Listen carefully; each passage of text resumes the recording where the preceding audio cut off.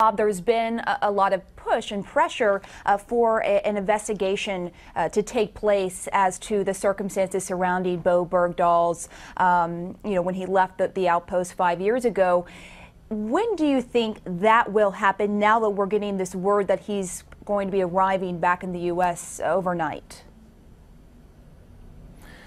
Well, Pam, I think probably right away. I think uh, the military is going to want to sit him down and ask him why he left post on the occasion that he was taken and the occasions before. I mean, this, this has turned into a political firestorm, whether he was a deserter or he was suffering psychological problems. Um, and I, I think we need to put this to bed. I think it's very unfortunate the way this has turned, and the military and the military alone is going to be able to answer that question. Okay, and, and I'd like to right now uh, take a look at what Chuck Hagel, Defense Secretary Chuck Hagel, has to say about this situation. Let's take a listen. You're trying to tell me that he's being held at Landstuhl, Germany because of his medical condition? Congressman, I hope you're not implying anything other than that.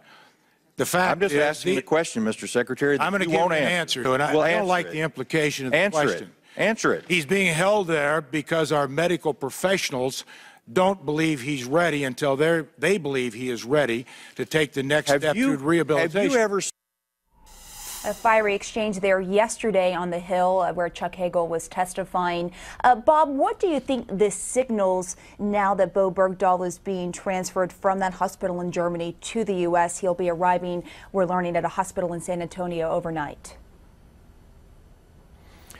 Well, I think he's going to be turned over to professionals. And it's going to stay that way. I don't. The military is not going to let this become any more politicized than it has. It wants the answers quickly, and I think again, it's just unfortunate that the political nastiness. I mean, he he needed to be brought home. We need to get out of that war, and with the less politics we do it, the better for this country. Especially when you've got other parts of the Middle East starting to explode.